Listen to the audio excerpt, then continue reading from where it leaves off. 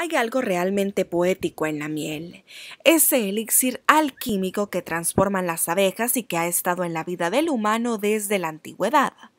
Pero aparte de su color, tiene superpoderes científicos que se añaden a su encanto. La miel tiene una composición química inusual que la mantiene fresca indefinidamente sin echarse a perder.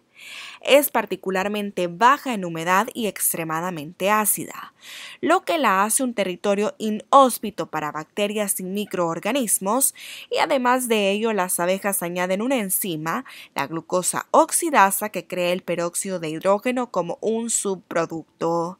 Gracias a todo ello, la miel ha sido utilizada como un remedio medicinal por millones de años. Y desde entonces, de la mano de tener un sabor delicioso y usarse para endulzar todo tipo de alimentos, la miel es usada para curar todo, desde rosaduras hasta el cáncer.